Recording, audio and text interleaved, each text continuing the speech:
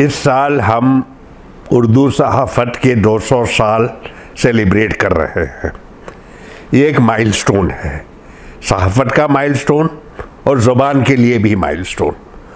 और मुझे जो हमारे मौलाना आज़ाद उर्दू यूनिवर्सिटी है, मैं उनको शुभकामनाएँ पहुंचाता हूँ कि उन्होंने ये एक इनिशिएटिव किया सेलिब्रेट करना, कि एक जो उर्दू सहाफ़त का रोल रहा है हमारे फ्रीडम स्ट्रगल में और हमारे बड़े से बड़े लीडर उसमें शामिल थे और जो सबसे अहम जो उस ज़माने में इश्यूज़ थे, उनको सामने लाना और एक एजिटेट करना। एक बहुत अच्छी बात है, लोगों को याद रखना चाहिए कि उर्दू प्रेस का रोल फ्रीडम स्ट्रगल में बिल्कुल अहमियत पाता है, वो सबसे आगे था। और इस वजह से लोगों का जो कॉन्शियसनेस थी उस ज़माने में इंटरनेट वगैरह तो नहीं था। मीडिया की तरफ़ से एक बिल्कुल एक one one single approach on freedom ये हमारे उर्दू प्रेस आ, आ, बिल्कुल उसने उसने अचीव किया और इस वजह उसका एक सेंट्रल रोल रहा।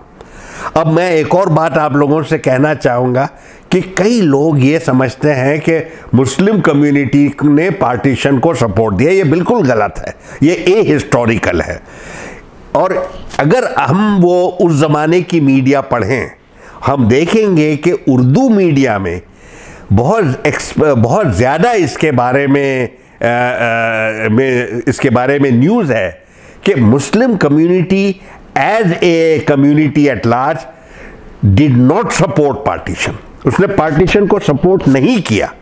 लेकिन सियासत का दौर ऐसा होता है कि कई बातें छुपाई जाती हैं, उनको अहमियत नहीं दी जाती है, और जो बात की पॉलिटिक्स है, वो पुरानी बातों को एक नया मोड़ दे के उनको उनको फैलाती हैं, उस, वो सब गलत है, और इस तरह से मुझे लगता है कि उस तरह की रिसर्च हमको फिर करना चाहिए कि क्या सचमुच क्या हुआ उस ज़माने में। सारा लिटरेचर है हमारे सामने, उसको लेके एक नई नज़र से पढ़ना चाहिए। जब हम उर्दू सहाफ़त का ज़िक्र करते हैं तो हमें याद आता है कि तकरीबन 200 साल तक उर्दू सहाफ़त ने हमारे देश में अच्छी तरह फैल फैल गई थी और उससे उसकी अहमियत थी। और उसकी अहमियत 1857 अपराइजिंग के बाद और भी बढ़ गई। क्यों? क्योंकि उसको उन्होंने ऑफिशियल रिकग्निशन दिया। गवर्नमेंट ने ऑफिशियल रिकग्निशन दिया। यानी कि सारे जो गवर्नमेंट के कम्युनिकेशन थे और कोर्ट प्रैक्टिस थे, वो सब उर्दू में होते थे। और ये ज़ाहिर है क्यों हुआ? उर्दू ज़बान तो हमारे सरजमीन से ही तो उगी, हमारे सरजमीन किसे उसकी पैदाइश हुई? और उसका एक लिंक रोल था। पंजाब से लेके और फ्रंटियर एरिया से लेके बंगाल तक, वो एक ऑफिशियल लिंक थी।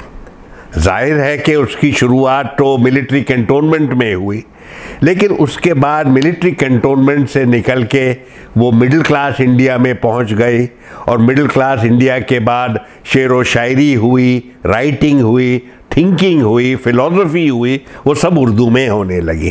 तो उसकी एक ख़ास अहमियत थी और उसका किसी मज़हब के साथ कोई तल को, कोई कोई रिश्ता नहीं था। क्योंकि सब लोग उसको बोलते थे। अगर हम याद करें कि इंडिया का सबसे पहला अखबार जो उर्दू में निकला था, बंगाल में, उसके एडिटर तो नॉन मुस्लिम थे। और कई दफ़ा ऐसा देखा गया है कि एडिटर नॉन मुस्लिम थे, सहाफ़ी नॉन मुस्लिम थे, उसका किसी से लेना देना नहीं। लेकिन ज़ाहिर है कि जब पार्टीशन हुआ हमारे देश का, तब बुनियादी तब्दीली हुई, कई चीज़ों में तब्दीली हुई। आपस में रिश्ते जो पहले थे, वो हम नहीं कायम रख सके। जो हमारे देश के बुनियादी वैल्यूज़ थे, उसके उसके बाद कई सवाल उठने लगे। क्योंकि एक हमारा बंटवारा हुआ कम्युनल बेसिस पे। तो इस इस तरह से लोगों को लगा, उस ज़माने के लोगों को लगा कि उर्दू का कोई ख़ास मुसलमानों के साथ कुछ ख़ास रिश्ता है। और हिंदी का रिश्ता नॉन मुस्लिम या हिंदू कम्युनिटी के साथ है। ये क्योंकि नए देश बने थे, उनको एक नए आइडेंटिटी की ज़रूरत थी तो पाकिस्तान में उन्होंने उर्दू का इस्तेमाल किया और इंडिया में उन्होंने हिंदी का इस्तेमाल किया।